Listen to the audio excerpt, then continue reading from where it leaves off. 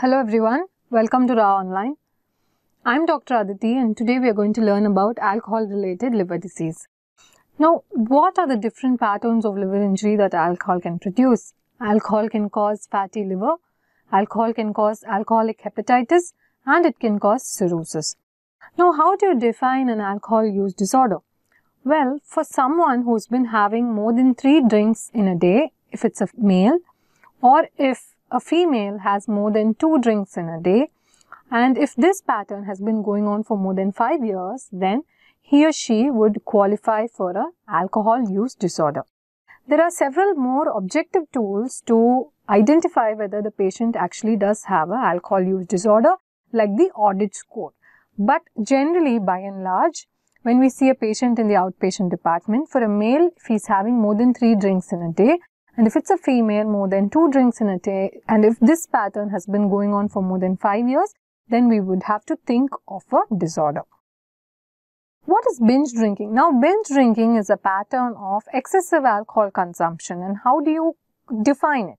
So, binge drinking is defined by intake of five drinks or more over a two hour span in males, and the same thing if it happens as four drinks over a two hour span in females then we would call it binge drinking. Now, binge drinking is one of the drinking patterns that is associated with a high risk of alcohol related liver disease.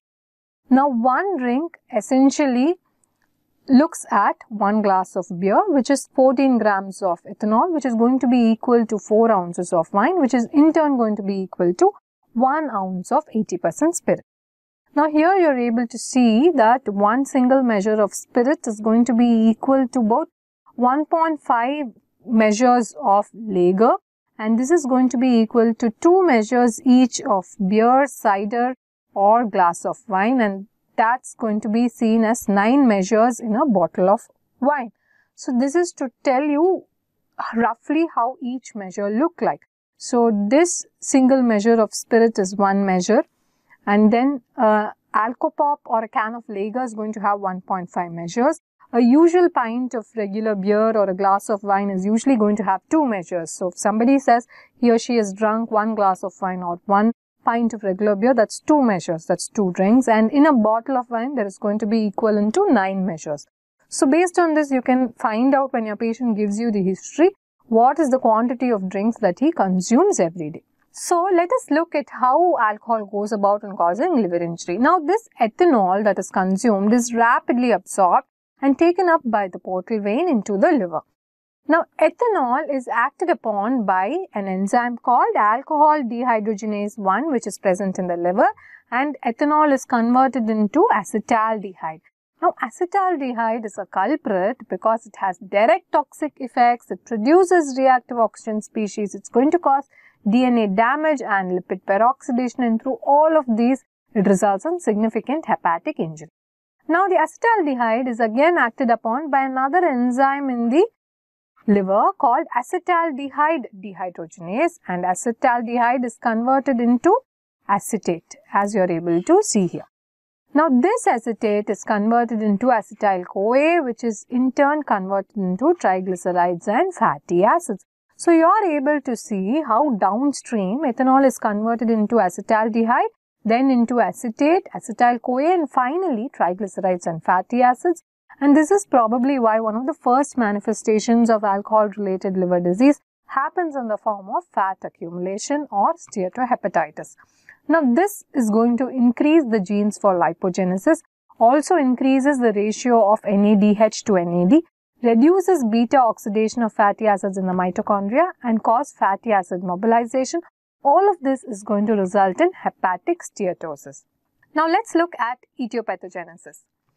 Now alcoholic fatty liver per se, what happens as we just saw with the ethanol metabolism, there is going to be formation of acetaldehyde and all the other reducing equivalents that gets accumulated. Now all of them downstream is going to result in lipogenesis and impaired beta fatty acid oxidation which is what we just saw and that is going to eventually result in accumulation of triglyceride which is what is going to cause this fatty liver which is what is the first finding in a patient with alcohol related liver disease.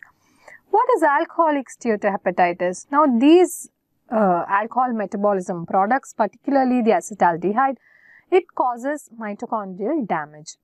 It impairs glutathione and therefore it increases the oxidative stress.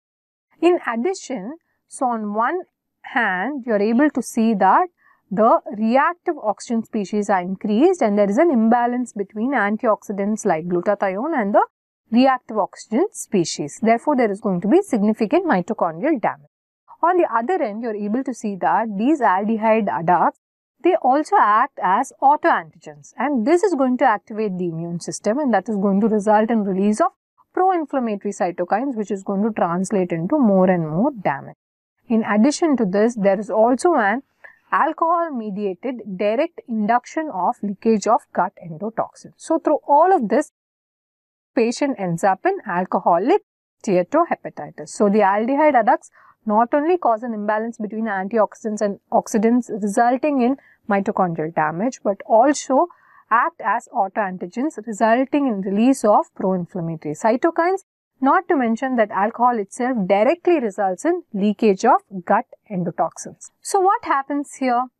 In alcoholic cirrhosis, all the pro-inflammatory cytokines, the oxidative stress, lipogenesis, impaired fatty acid oxidation. So basically, the downstream end products of the alcohol metabolism, they act through all of these different forms and all of them together result in hepatocyte apoptosis and necrosis. So, impaired fatty acid oxidation, lipogenesis, uh, imbalance between oxidants and antioxidants, not to mention the direct induction of leakage of gut endotoxins and uh, these aldehyde adducts which act as autoantigens which result in pro-inflammatory cytokines.